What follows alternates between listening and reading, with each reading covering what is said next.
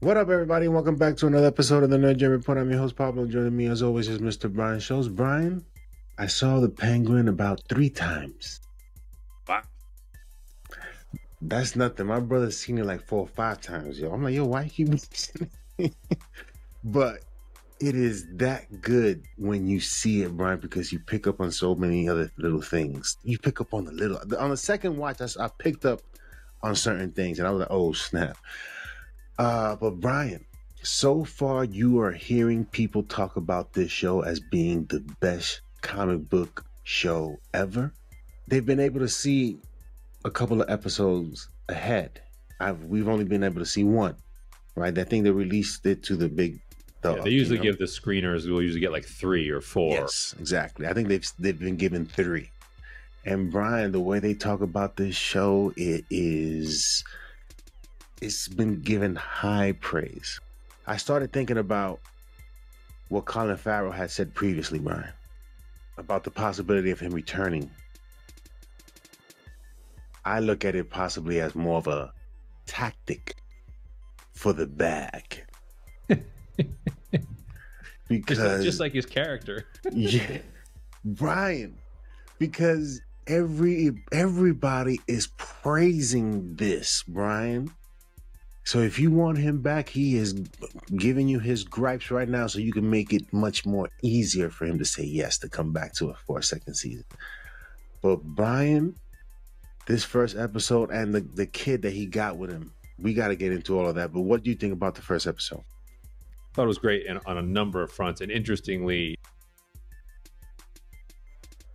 kind of just roped the wife into watching it with me.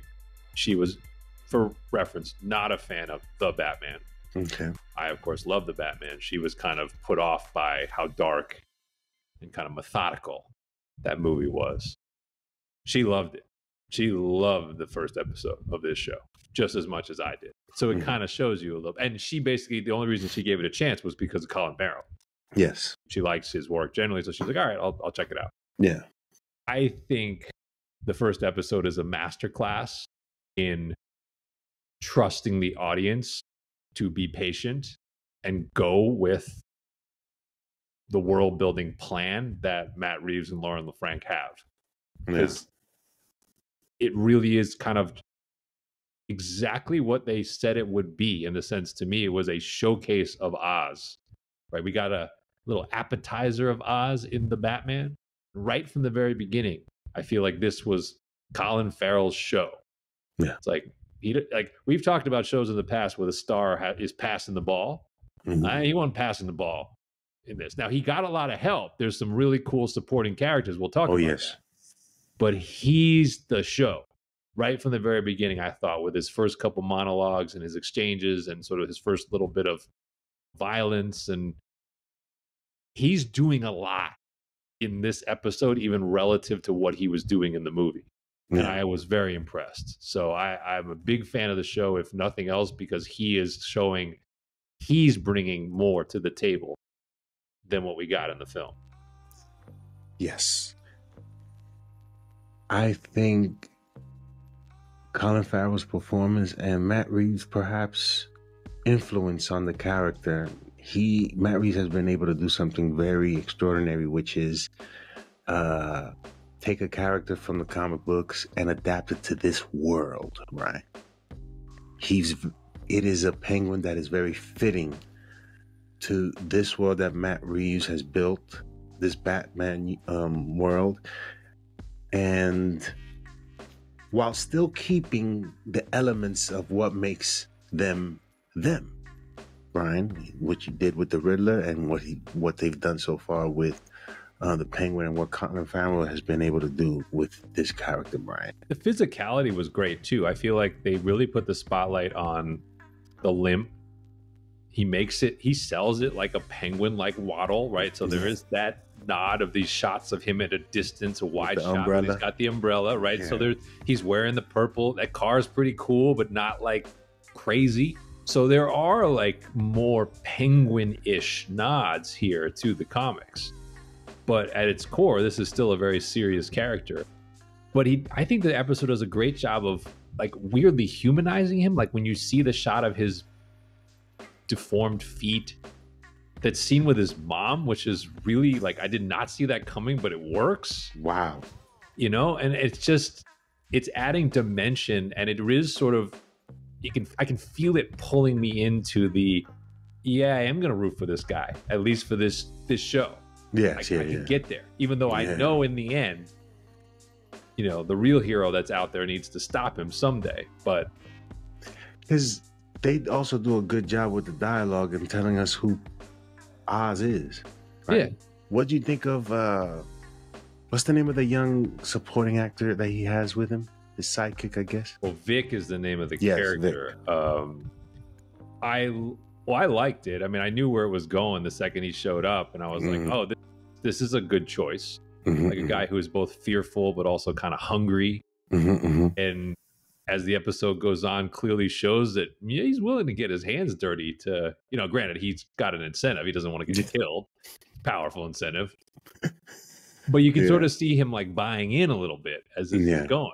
Yeah. So I, I like the choice. Was not familiar with the actor before this show, but I thought he did a creditable job. He wasn't getting blown off the screen. Yeah, yeah. What do you think of um the daughter Falcone? She was Oh, very she was Crushed it.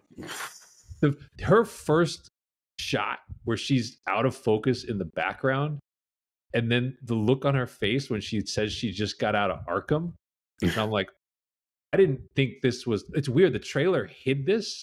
Yeah. I felt like it made it seem. The trailer made her seem to me more like a classic gangster's daughter. Yeah. and then when she showed up, I was like, "Oh, she's actually nuts! Like she's actually she's actually more Joker or Harley Quinn than I was expecting." I, Yeah. I was all in. I think Kristen Milioti looked looked and sounded just so sadistic, and then by the end of the episode, you realize like, "Oh, like she's gonna be a problem in this." Yeah, they did a. They've done a, a, a fantastic job at setting the table for what's to come, Brian. Uh and how the Penguin or Oz is gonna be able to get out of these situations when people find out they're being manipulated, almost pretty much, right?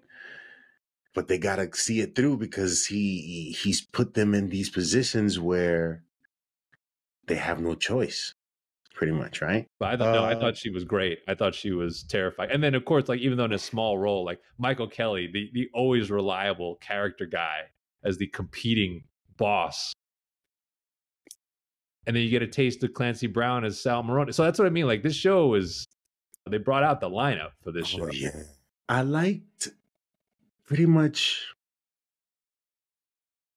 everyone you met on the show, right? Even to even his workers, right? You can see that they're cool with Oz. And they tell him what's going on, and he's, you know, he's the he's the boss, but he's cool with everybody. Even Brian, when he arrives at the mansion, He's saying, "Hey, fellas, you know he's he's always trying to charm in little subtle ways everyone who's around him. Even he, he he's just, I, and I think probably perhaps is a lot of it is for improv, Brian. That's interesting. Uh, it certainly comes off as genuine. There is this the way Farrell plays it too. You see the layers of if you just saw that exchange with the with the henchman, I don't know what you call him, you'd be like, oh, that's mutual respect. Oz is this deformed, kind of limping guy, but they they clearly respect him. He gives them respect right back. But then you peel back the onion, Mhm. you see how he handles Alberto Falcone behind the scenes, and you're like, yeah, these guys probably know. this is probably not the first time that Oz has drawn on someone and you know fired and fired first and you know done some some deeds to where like yeah it's mutual respect but there's some fear too yeah. he's not afraid they are Do you think the buzz around the show and where this show, when it finishes, is supposed to lead us somewhere else? Because of the praise that this show is getting, Brian, do you think Matt Reeves has been sort of pushed a little bit further along his timetable as to how long he likes to take to do his thing to be like, yo, get this done. Because right now, after all of this, what was it like a few months ago, a few weeks ago? I don't know about Matt Reeves, about the Batman being delayed. Now it's we're shooting like the script is done and we're shooting um in uh, early 2025. Well, the movie was delayed, right? I mean, it's a 2026 release. Yeah. It was supposed to be 2025. Yeah. I, I just find it weird that we're getting more updates on this stuff. yeah, I, that may not be a coincidence. That may not be a coincidence.